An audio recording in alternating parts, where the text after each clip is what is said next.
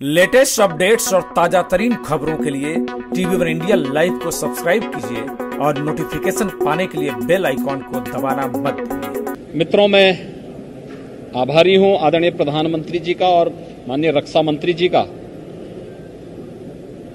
जिनका मार्गदर्शन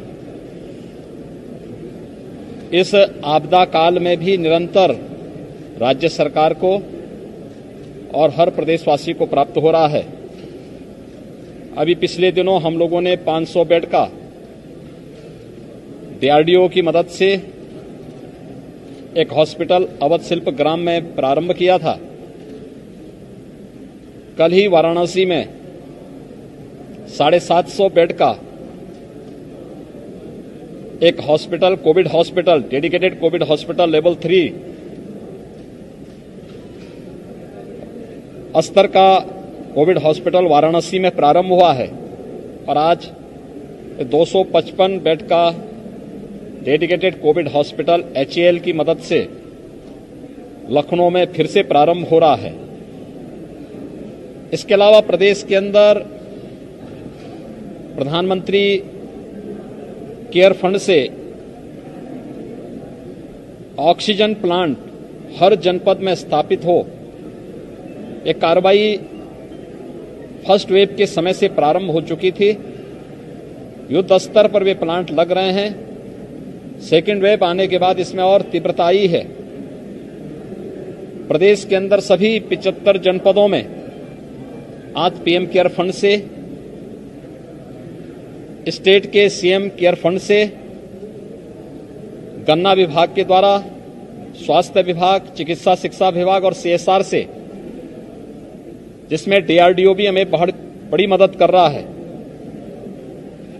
300 oxygen plant हम लोग अलग अलग जनपदों में स्थापित कर रहे हैं।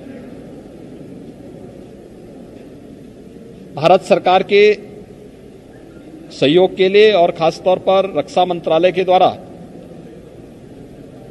आपदा के संकट में वायुसेना के विमानों के माध्यम से ऑक्सीजन ऑक्सीजन टैंकर को पहुँचाने में मदद करना, रेल मंत्रालय के द्वारा ऑक्सीजन एक्सप्रेस के माध्यम से ऑक्सीजन की आपूर्ति को सुनिश्चित करने की जो व्यवस्था की गई है, मैं इसके लिए हृदय से आभार व्यक्त करता हूँ। प्रदेश के अंदर पिछले दस दिनों में चौरानवे हज़ार एक्टिव केस कम हुए हैं।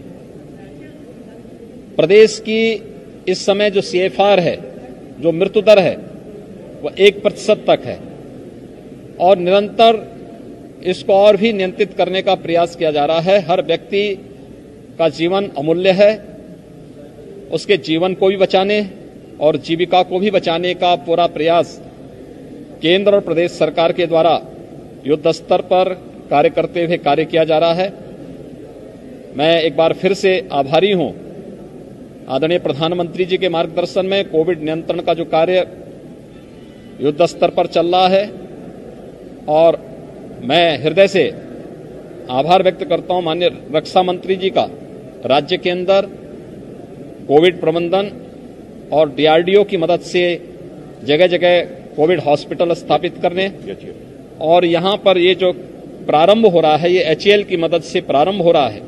मैं इसके लिए रक्षा मंत्री जी का, डीआरडीओ का, एचएएल का हृदय से धन्यवाद देता हूँ कि इसकी मदद से हम लोग बहुत अच्छे ढंग से प्रदेश के अंदर इस कार्यक्रम को और अच्छे ढंग से आगे बढ़ाने में हमें मदद मिलेगी।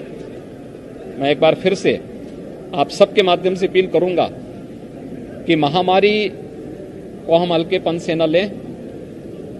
कोविड नियंत्रण के लिए केंद्र और प्रदेश सरकार ने जो गाइडलाइन जारी की है, हम उसका पालन हर हाल में करें। ये आज के दिन पर बहुत महत्वपूर्ण है। क्योंकि उपचार से महत्वपूर्ण बचाव है और बचाव के लिए हर व्यक्ति को स्वयं भी इस दिशा में शासन की उस गाइडलाइन का अगर पालन कर लेंगे तो काफ़ी बड़ी मात्रा में हम लोग इस संक्रमण को रोकने और उसकी इस चेन को ब्रेक करने में हमें मदद मिलेगी। धन्यवाद जी।